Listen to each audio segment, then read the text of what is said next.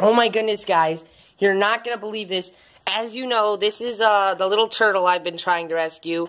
And I literally just had to break him out of ice. As you can see, he's alive there. But he was literally in the ice out there. I could not believe he could possibly still be alive. He was sitting in the bottom of the water. And look at that. Oh my gosh. He was sitting in the bottom of the water out there and the light bulb had like fried out.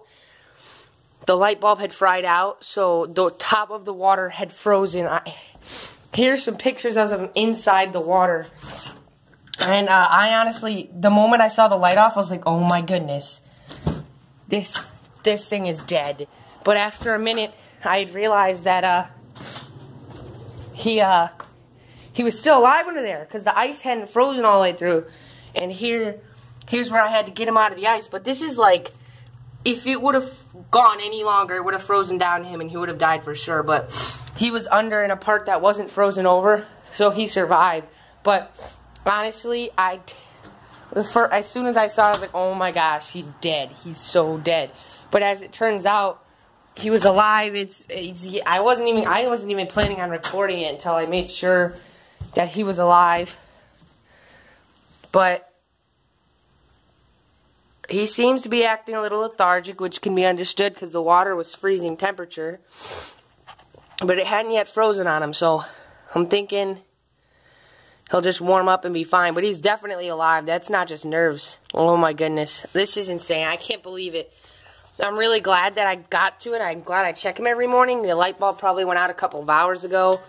And, uh, I got him just in time to save his life. So it didn't freeze all the way through to him. So I'm glad I could save him. He's definitely not going out there anymore.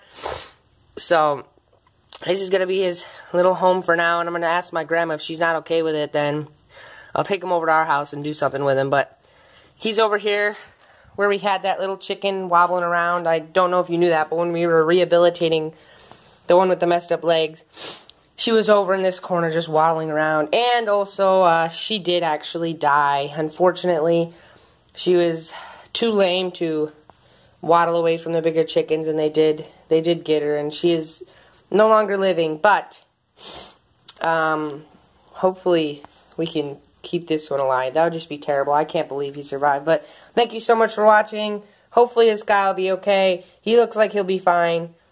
And uh, we'll see you guys next time. Peace.